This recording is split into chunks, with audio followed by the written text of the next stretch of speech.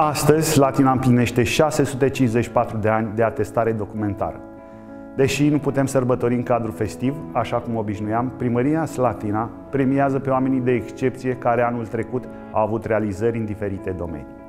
Peste 1000 de premii în bani vor fi acordate celor care au făcut performanță în competiții, dar și cuplurilor care au împlinit 50 de ani de căsnicie. Cu speranța că la anul vom putea sărbători împreună, vă doresc sănătate, visuri împlinite și la mulți ani, dragi slătineni!